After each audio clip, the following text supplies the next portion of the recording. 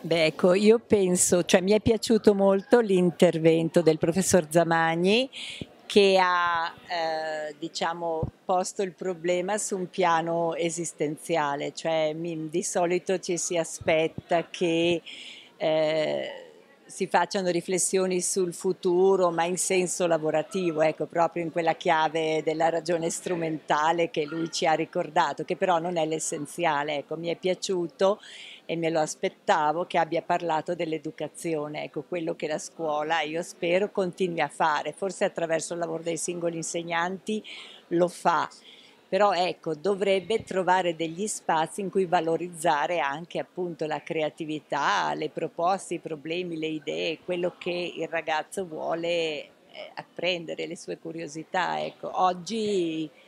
non so, dipenderà dalle scuole, però a volte questi spazi non sono, non sono valorizzati e concessi, anzi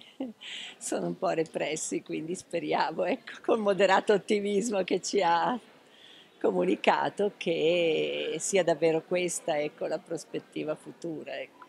Così ci viene voglia di restare un po' di più visto che hanno intenzione di tenerci a lungo a insegnare.